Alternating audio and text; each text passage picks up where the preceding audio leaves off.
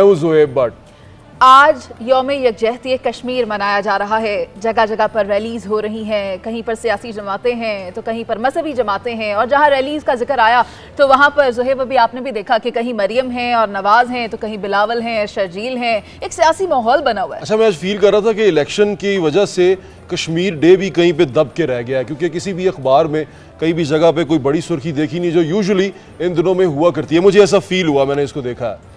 Exactly exactly, इसी तरह देखा है हमने। लेकिन चलें जहाँ तक सियासी माहौल की बात हो रही है उसकी तरफ़ आते हैं और हम काफ़ी दिन से इस पर बात करें लेकिन अभी पैनल में मेरे साथ रिजवान रज़ी साहब मौजूद हैं इमदाद सुमरो साहब हैं जावेद इकबाल साहब हैं और यहाँ से साबिर शाह साहब हैं अंजुम रशीद साहब हैं और हमाद गजनवी साहब हैं सीनियर एनालिस्ट हैं तमाम। गुफ्तु का आगाज़ मैं रिजवान रज़ी साहब आपसे करती हूँ। आपने ब्रेक में कह रहे थे कोई बहुत बड़ी ब्रेकिंग आई है एमक्यूएम की तरफ़ से या वो क्या थी ब्रेक थ्रू हुआ कराची की पॉलिटिक्स में मैं। अर्ज़ कर कर देता हूँ। मैं तो वैसे दोस्त अहबाब के इलम के लिए अर्ज़ कर रहा था लेकिन आ, हमारे नाजरीन भी हमारे दोस्त अहबाब हो जाए। इस इस महफल के अंदर शरीक हैं। तीन रोज से हाइप क्रिएट कर रही थी एम क्यू एम लंदन के अल्ताफ भाई कोई बहुत बड़ा ऐलान करने वाले हैं। बानी बानी एम क्यू एम कोई बहुत बड़ा ऐलान करने वाले हैं। और कल फिर शाम में चार बजे उन्होंने लाइव ऑनलाइन खिताब किया है। और उसके अंदर उन्होंने फ़र्स्ट टाइम मेरा ख्याल ये है कि वो हर दफ़ा जब इलेक्शन से पहले इस तरह का ऐलान किया करते थे तो वो बाईकाट का ऐलान होता था।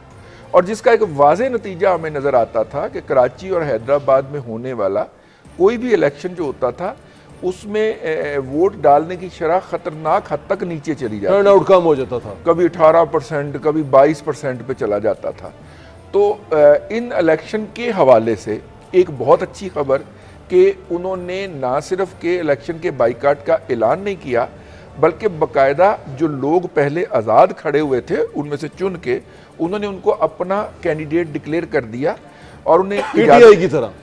पीटीआई पीटीआई की तरह। अच्छा। और उन्होंने कहा कि आप जो हैं जिस भी इंतखाबी निशान के ऊपर इंतखाब लड़ रहे हैं वो तो आप लड़िए हम्म। लेकिन अपने बैनर के ऊपर ए लिख दीजिए। ओके। जो उनके नाम का पहला ए ना लिखे लंदन ना लिखे हाँ। ए लिख दे। ए लिख दे। एज लगना भी चाहिए लिख दीजिए। तो हाँ। इससे लोगों को डिस्टिंग्विश हो जाएगा कि ये भाई के कैंडिडेट हैं।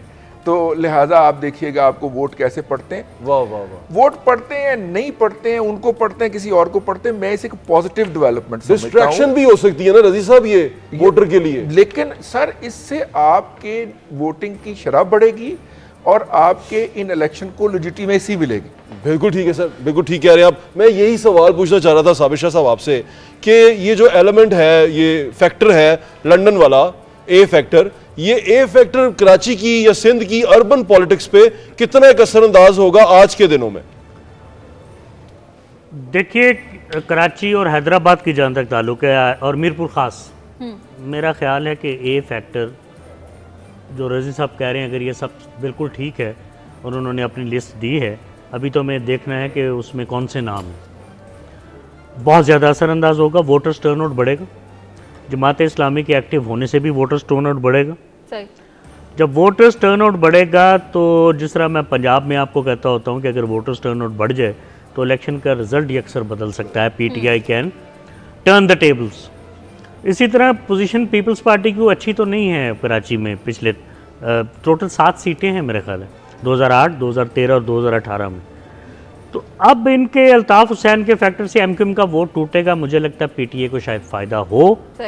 और इतना फ़र्क ज़रूर होगा जो पीटीए ने 14 सीटें जीती थी ये कुछ स्वैप हो जाएँगी एमक्यूएम के साथ थोड़ी सी। हम्म। वैसे टेक्निकली स्पीकिंग पीटीआई को भी हमें मुझे लगता है कहना भी अजीब लगता है वो तो है ही नहीं इलेक्शन लेकिन दो कैंडिडेट बहुत अच्छे हैं। देखिए आप पीटीआई तो इलेक्शन में नहीं है। जबरान नासिर देखिए पीटीआई बैक तो है।